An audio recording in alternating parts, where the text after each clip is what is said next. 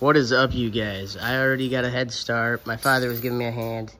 Um, but I got the front end of this Crown Vic tore out, and we're going to drop it into that 80s bullnose Ford truck frame.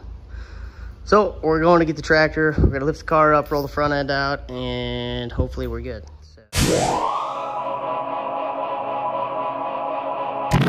So.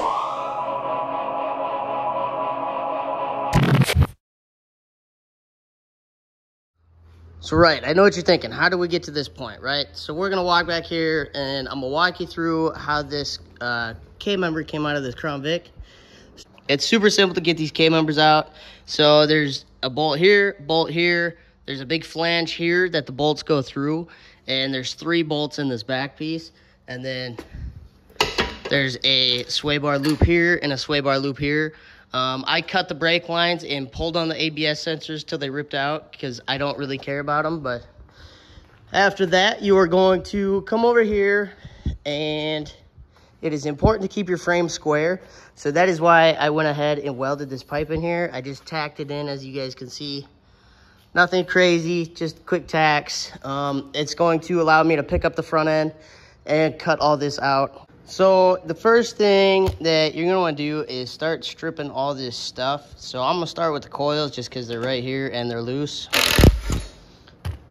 Whatever order you do it in, you just start somewhere and keep going. So I started at the coils, then I moved on to the steering box here.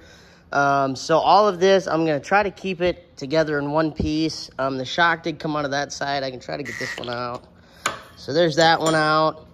Um, next, we are going to probably just cut these brake lines because I doubt they're going to come off.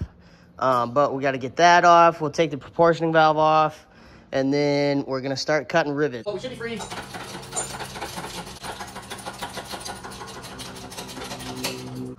Now we got to figure out how to get it out from under there.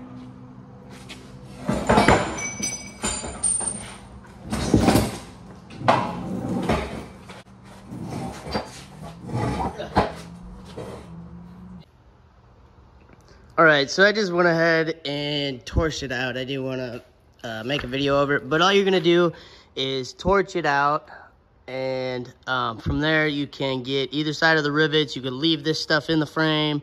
Um, you can do whatever. And this is definitely a project you could do in your garage. You could have cut this out with a grinder.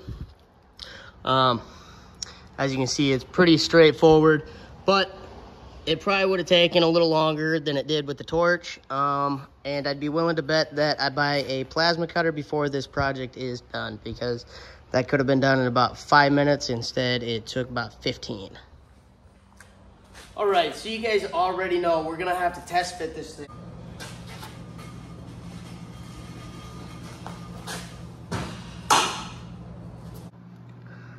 Okay, so there is a alignment dowel on this front end, one on both sides. And from what I was reading, they almost correctly line up with the holes. These ones don't. Um, it's no big deal. I'm probably just gonna cut them off because it's literally gonna have big through bolts that go all the way through the frame and it'll connect right back into these factory holes. So like this one, I'm gonna have to do a little bit of boxing and building on it, but um, I will get it to where it mounts in. This side will probably be all right if I leave this steering box piece in here. Um, I don't want to, but it's not the end of the world. Before I continue, I am going to um, buy some steel to plate the frame in on both sides. But in the meantime, I'm gonna get it all cleaned up, get the rest of this stuff out of the front end that I don't need. So thanks for following along so far. Um, I wish I could have got a lot more done, but Believe it or not, there's a lot accomplished today. There was a Crown Vic sitting back here. Uh, the front end was ripped out of that in about an hour. Um, I torched the rest of the stuff off, and now we are test fitted. Got a long ways to go, but I don't think it's gonna take, I don't think it's gonna take way too long by any means. So fingers crossed, it's all gonna work out.